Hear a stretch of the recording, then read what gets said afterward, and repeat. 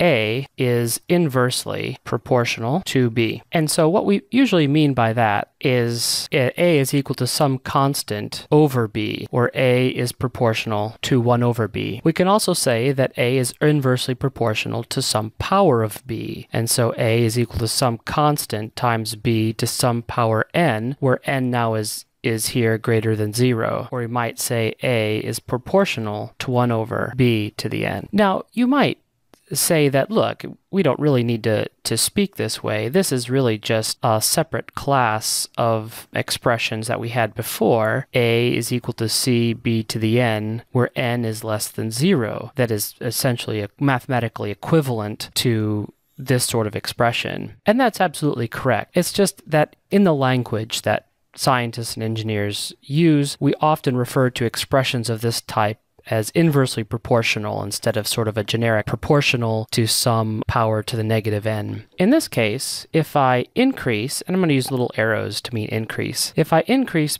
b by a factor of 2, that means I decrease a, or a decreases by a factor of 2 to the n. Or if I increase b by this time a factor of 10, that decreases a by a factor of 10 to the n power. So if I want to look at relationships, I can say that a b to the n is equal to some constant. Again, if I want to look at it in terms of ratios, I would say that a1 over a2 is equal to b2 over b1 to the n. And you can see it's the same as before except the, the b's are inverted. Where here this was b1 over b2 to the n, I now have b2 over b1 to the n. And so I can again use these proportional reasoning to solve problems without ever solving for what this constant happens to be. For an example, let's use uh, Newton's law of universal gravity. Newton's law of universal gravity says that the uh, gravitational force on a mass m by a mass capital M is proportional to each mass and inversely proportional to the distance squared. This force is proportional to each mass and inversely proportional to the distance between them squared. I'll call r